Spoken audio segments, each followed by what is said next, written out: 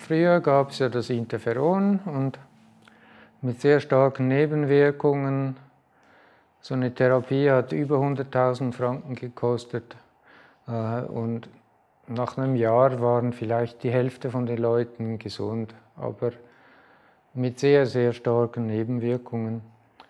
Und die, die Behandlung war deutlich schlimmer wie die Krankheit. Äh, seit drei Jahren gibt es jetzt dieses neue Medikament, das praktisch 95 Prozent von allen Patienten innerhalb von drei Monaten heilt, äh, mit praktisch keinen Nebenwirkungen.